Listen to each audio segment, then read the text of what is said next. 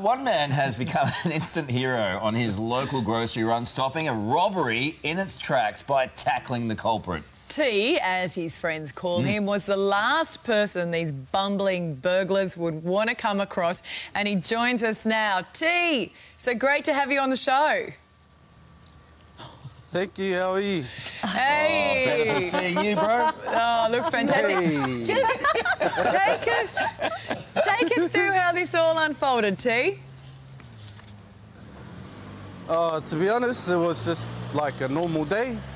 Just driving here to the coast to drop off their magazines. And then I seen like uh, the lady in the medical centre. She was waving up. So I was like, hello. and then um, I didn't know what she was waving at, to be honest. Yeah. But then I jumped out the truck and then um, she was like, there's two guys next door in the pharmacy robbing it. And I was like, like right now? And then she's like, yeah, yeah, right now. And so I was like, oh, I'll wait there then and I'll go over and check it out. So I just walked over, stood in front of the door, and then I looked down and I seen them and I was like, mate, what are, what are you up to? Yeah. And then they just looked at me, turned, turned around, looked at me, and then they started walking towards me. At that time, I didn't know whether they had knives or anything. So I sort of was just being cautious about it, to be honest. and then um, the closer they got, Yeah. I sort of took a step back, and then that's when the first fella just ran straight past me. I was like, but he got away. And then um, the second fella just looked at me. I was like, you're not going anywhere. Nah.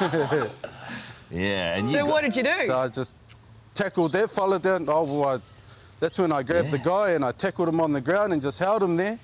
And then I was just literally, he was struggling at first, and I just said to him, I was like, mate, you're wasting your breath. You're just going to make yourself tired. and Hey, then uh, after, after a little while, he sort of, sort of just gave up, and then I was like, I have a son, he's 15 years old, so my fatherly instinct kicked in, and um, I just started giving him life advice, I guess. Uh, did you say to him, Mr. T, did you say to him, oh, too many weights, not enough speed? but I should have, eh? But you must have said, Yeah, so- you, reckon. obviously, you had no concern for your own safety. I love this. And then, and then you, and you tackle him down. Did, did you not, in all seriousness, have any worries about being hurt at all? Because, you know, he could have had anything. Nah, to be honest, I, that wasn't even in my mind, to be honest. The lady asked for help, and I, I was just like, yeah, yeah, I got your back. Jump in there and just help out, pretty much. Oh, legend. Mr. T, I want to know Yeah. what advice you gave mm. him.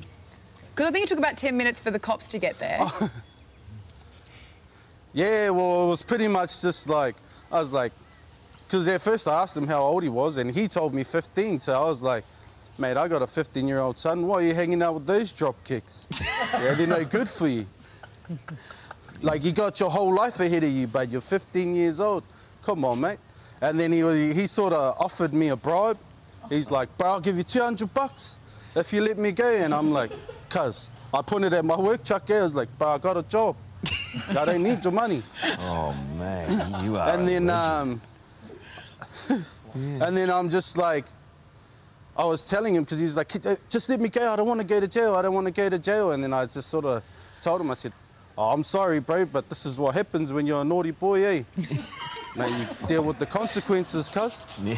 Mate, I am transfixed you by go. you. Um, you are you are a proper a proper legend. The New Zealand Prime Minister is also um, in Australia right now, uh, and you're you're the kind of Kiwi that needs to be celebrated in a very very large way.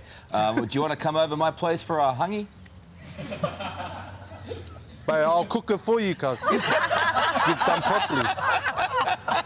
Oh, You're a legend, my man, Mr. T. Great to talk to you. Thank you so much for being with us. No, thank you guys. Cheers. Oh, Kia ora, bro. Oh, that is a- that is a wonderful story. What a legend. Oh, I just want to hang out with him. Great. You should start Have a few spates. a life coaching oh, business. Oh, yeah. Yes. No, no. Life advice from T. He's a